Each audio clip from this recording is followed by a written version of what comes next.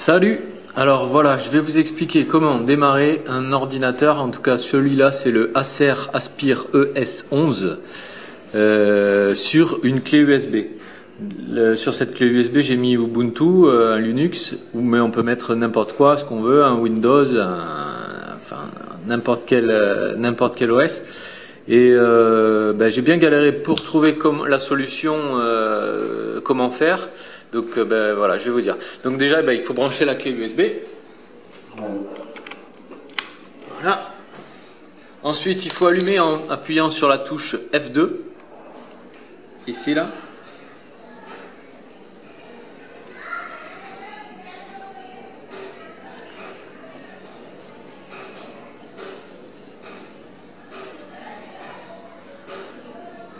Alors, si ça marche pas, comme c'est le cas ici, j'ai remarqué qu'il fallait euh, faire un reset de l'ordinateur, c'est-à-dire appuyer sur la, touche euh, Power, laisser appuyer jusqu'à temps qu'il s'éteigne de façon forcée. Voilà, là il s'est éteint.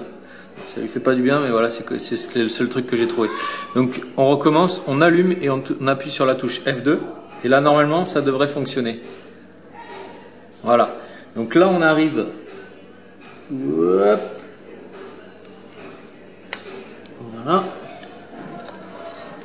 On arrive, voilà, excusez-moi pour la vidéo, j'ai pas mieux. Euh, on arrive dans le boot, donc euh, ici on a information. Alors je sais pas si on voit bien, je regarde. Euh, ouais, c'est bon, on voit. Donc on a information ici. avec les flèches du clavier, on se dirige vers la droite et on va jusqu'à boot. Ici, on a le menu du boot. Il faut choisir en allant vers le bas euh, mettre l'USB euh, euh, en première position. Donc avec, il faut se mettre sur l'option choisie, par exemple USB, et faire F6. Voilà, ça la met, ça la, ça la fait monter d'une, d'un ordre, d'une position, pardon. Et ensuite, on arrive à mettre l'USB en premier. Ensuite, on va sur Boot Mode, qui est la première option en fait on fait entrer. Ici, on a l'option UEFI et c'est pas celle-là qu'il faut. C'est là que j'ai galéré euh, bien longtemps à comprendre euh, pour quelle raison euh, j'arrivais pas à le faire démarrer sur la clé USB. En fait, il faut se mettre sur Legacy avec les flèches du haut et du bas. Donc, on se met sur Legacy ici, on fait entrer, il nous demande une confirmation, on fait OK, OK, voilà. Et là, on voit boot mode Legacy. Ensuite, on peut faire, on peut sortir, euh, en faisant F10, Save and Exit.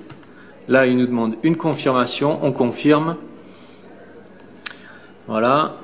Et là, normalement, l'ordinateur devrait redémarrer, si tout va bien, sur la clé USB. On va voir ça. Voilà. Donc là, il redémarre sur la clé USB. Comme je vous disais tout à l'heure, c'est un Ubuntu. Euh, voilà, après on peut choisir ça. Euh, petite précision euh, pour redémarrer sur Windows, c'est-à-dire l'OS qui est présent en ce moment sur mon ordinateur, il faut se remettre dans les paramètres, faire la procédure inverse et se remettre sur l'option UEFI pour euh, pouvoir redémarrer dans le boot. Voilà, je vais vous remontrer, je vais la faire d'ailleurs. Euh, d'ailleurs, j'enlève la clé puisque j'en ai plus besoin. Donc je refais, j'allume, je me, j'appuie sur F2. Ah, voilà, j'ai l'option, j'ai ça aussi. Donc ça, c'est pas ce que je voulais. Donc je, j'éteins l'ordinateur. Je rallume sur F2. Il faut que je retombe sur le menu euh, qu'il y avait tout à l'heure. Ça ne fonctionne pas. Bon, bah, justement, ça tombe bien. Vous allez voir comment il faut faire. Donc là, je fais entrer. Mais ça ne fait rien du tout. Exit. No bootable device, insert boot device and press any key. Exiting. Donc là, je sors en faisant On va y arriver. Ensuite, je recommence, je rallume F2.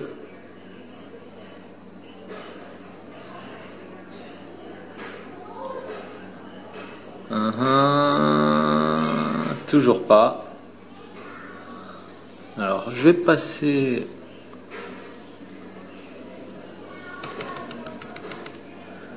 Alors, qu'est-ce qu'il me dit Ça ne marche pas. Bootable de vis, insert boot de vis key.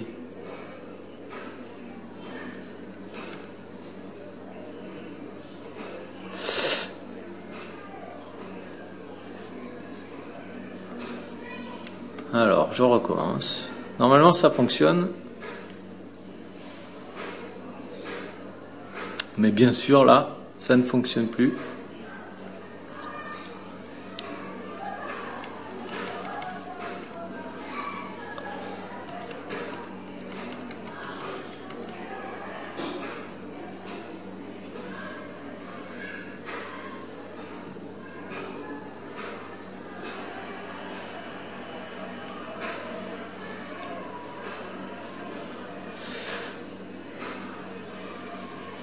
Alors je vais refaire, je vais appuyer, faire un appui long sur euh, le bouton power. On va voir si ça fonctionne mieux. En fait le problème souvent c'est ça, c'est qu'il faut le resetter. Non. Alors, il est où le problème là?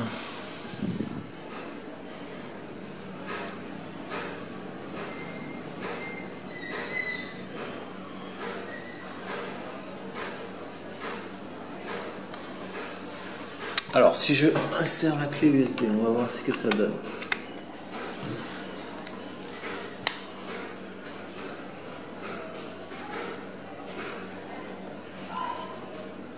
Donc là, je suis sur le boot. Euh, merde. Alors. Non, c'est pas ça. Donc là, quand il est en train de s'installer, de se démarrer, je fais un appui long. Voilà, là je viens de faire un reset. Donc à ce moment-là, j'enlève la clé. J'appuie sur le bouton power, je mets sur F2 et là je tombe sur le même. ok, on recommence. Ça.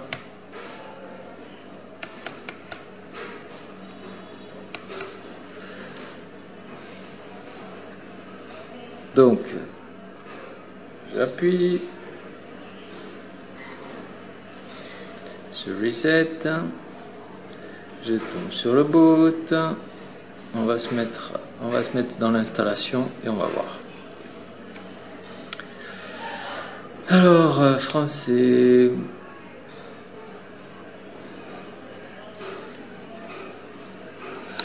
Si je fais F6 là par exemple, autre. Non, c'est pas ça. Bon, alors je démarre en mode live persistant. Ah la belle galère en direct live. Je sais pas si ça va vous aider.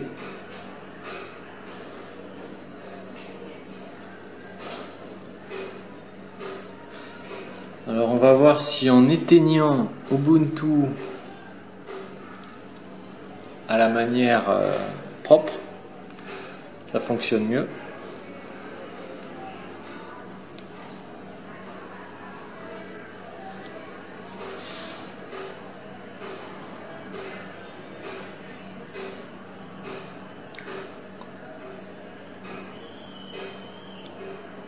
Ah, c'est marrant, je voulais faire le tuto pour pas qu'il y en ait d'autres qui galèrent et là je viens de me mettre dans une belle galère.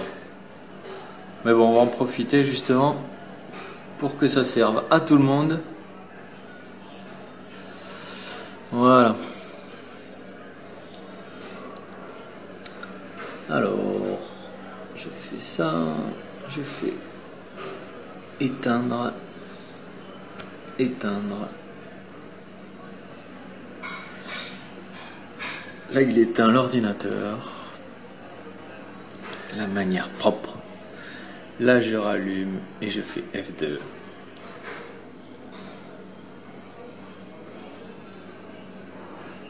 Ah, mais il va rallumer sur la clé encore. Encore une fois. Merde, qu'est-ce qui se passe? La galère. Alors, euh, j'éteins la chacale. Je mets des branlées à chaque fois. C'est pas très bon. Hein.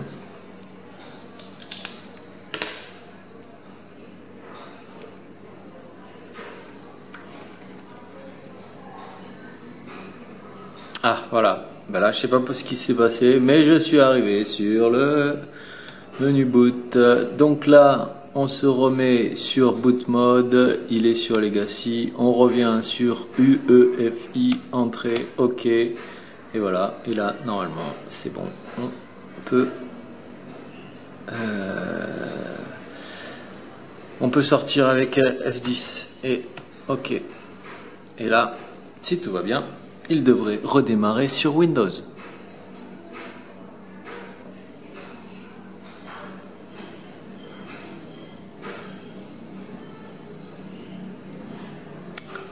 Ouais, c'est pas pareil. Voilà, et maintenant il redémarre sur Windows. Bon ben j'espère que ça vous a aidé. Euh, pour la deuxième partie de la vidéo comment remettre sur UEFI, et eh ben, vous avez vu, euh, j'ai un peu cherché. Euh, je sais pas trop comment j'ai fait. Enfin, je sais pas vraiment la bonne technique en fait. S'il y en a qui savent, eh ben, vous pouvez le mettre dans les commentaires. Euh, merci et à la prochaine.